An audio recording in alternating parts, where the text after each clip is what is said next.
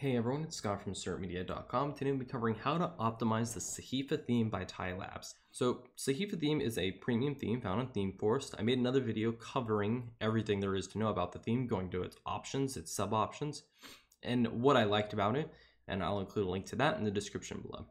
But for this video, we're going to talk about how to make it load faster because this is the default imported theme right here. The only modification I really made was to make it in dark mode because I frankly like the dark mode more. And as you can see, there are glaring performance issues. We're gonna see, see how to get this thing up to stuff and improve its load time.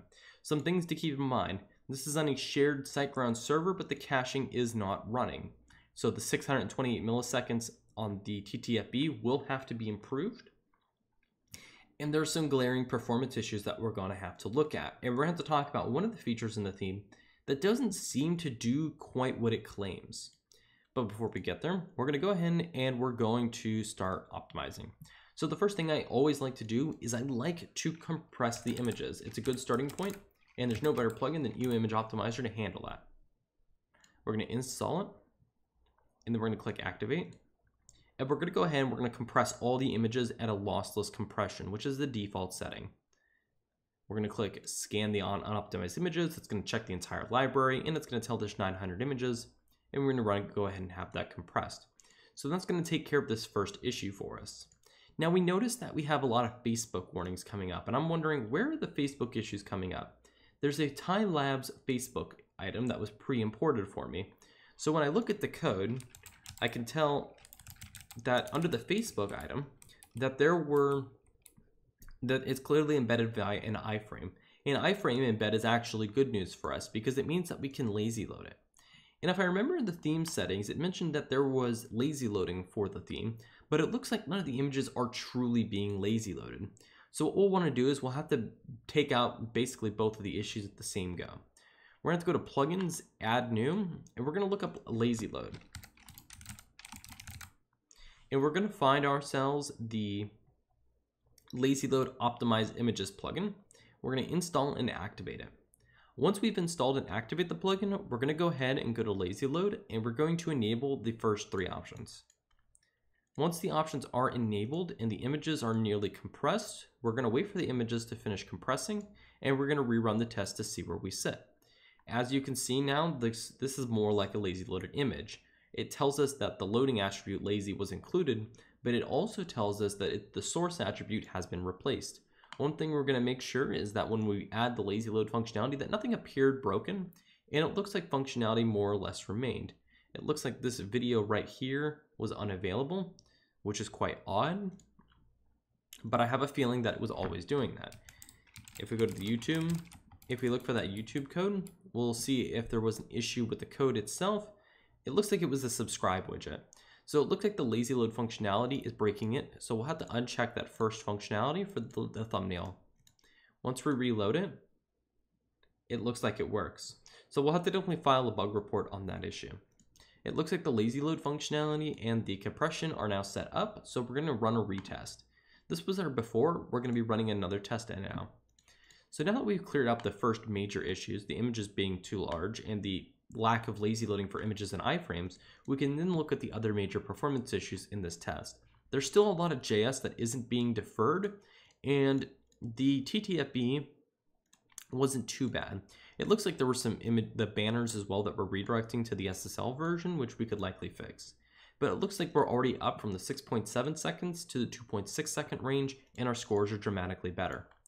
We're going to go ahead and we're going to integrate a the cache enabler plugin as well as Autoptimize. I've made two videos that go in depth on both of these plugins. I will include them in the description below. We're going to install both of them simultaneously, and then we're going to just install activate one at a time. Activate cache enabler. This will allow us to cache the HTML page to accelerate the download speed and to reduce the white screen that they see on load up.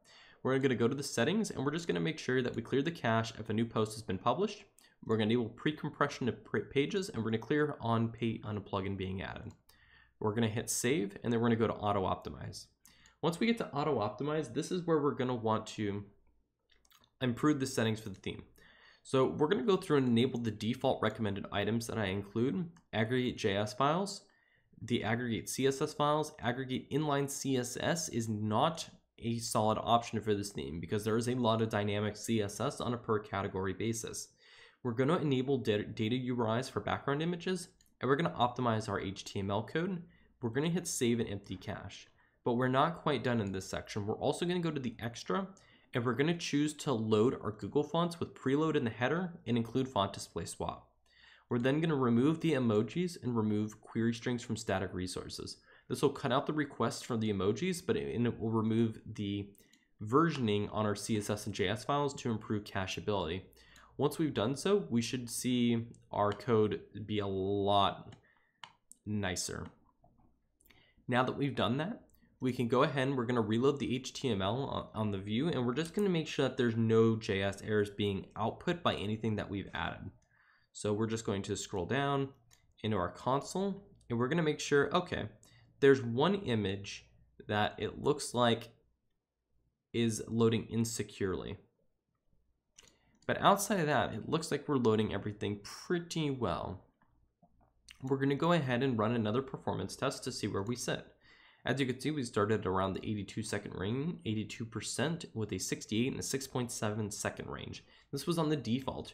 Depending on the content that you add, maybe if you add more subscribe widgets notably, you might notice that your site is a little bit slower.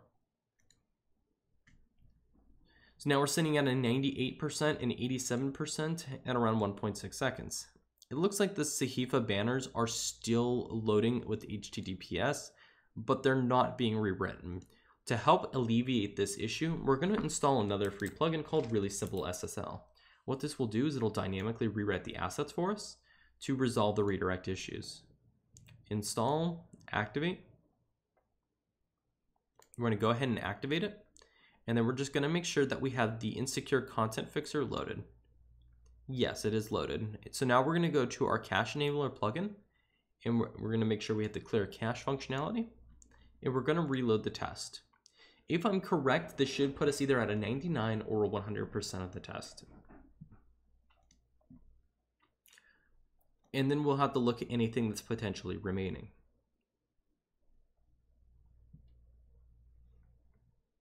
Analyzing with YSlow, analyzing with PageSpeed, and it's generated the report.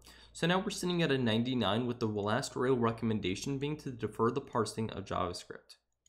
The last item that's being loaded is jQuery. And jQuery is an interesting file that's difficult to improve upon because it tends to be dependent on other inline JavaScript. What we'll do is we'll attempt to remove jQuery, but I don't think it'll work. Once we've removed jQuery, we're going to rerun our test on the front end, and we do have some var various errors. So the theme's live search functionality is greatly dependent on jQuery being defined, as is several other important details. Therefore, we cannot de defer jQuery without breaking the theme.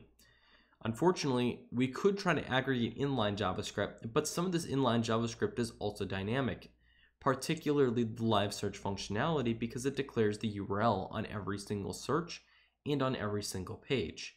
So we don't want to merge the inline JavaScript, but we can't not but we can't merge jQuery.js. The only other real options for improvement would be to add a CDN, either through CloudFront or a similar company, and that would improve your YSlow grade into the 95% range or so. The reduced DOM elements would simply recall, require us to remove additional elements on the page, such as the extra blogs or all the footer widgets or the complex menu structure. There's not much that we can do there. We could attempt to uh, host the Google Fonts locally, but from testing, I tend to find that it's faster to be loaded from the CDN.